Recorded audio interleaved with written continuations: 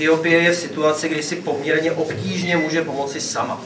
Česká republika jako jedna z bohatých a je v podstatě jedna z nejbohatších zemí světa si musí a může pomoci sama. My máme určitou spoluzodpovědnost za to, jak žijí lidé v zemích, které neměly takové štěstí eh, z historických důvodů, z politických důvodů a jejich schopnost nějakým způsobem se regenerovat nebo dostat se na eh, příslušnou úroveň eh, sociálního nebo ekonomického rozvoje je prostě stížena.